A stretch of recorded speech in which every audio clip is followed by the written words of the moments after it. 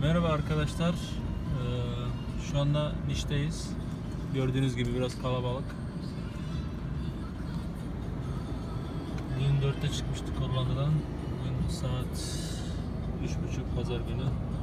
Tam 24 saat olacak. Gidiyoruz bakalım. Yollar güzel. Macaristan kalabalıktı. Roske kapısı. Tompa'dan giriş yaptık. Güzel geçti. İstikamet Kayseri.